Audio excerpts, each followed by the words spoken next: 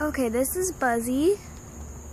He is a Southern American Southern flying squirrel. Southern flying squirrel. He lives in our tree box, well, bird box. He's a really cute, cute, cute, cute animal.